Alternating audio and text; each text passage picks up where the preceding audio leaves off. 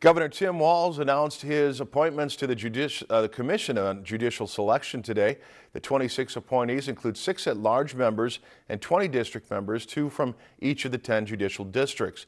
In the 9th Judicial District, Walz selected Susan Beck as a non-attorney member and Michael Garbeau as an attorney member.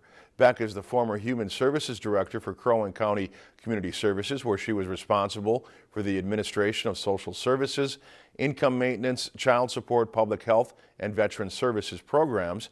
Garbeau is an attorney at Bailey and Garbeau Law in Bemidji, where his practice focuses on workers' compensation and personal injury representation.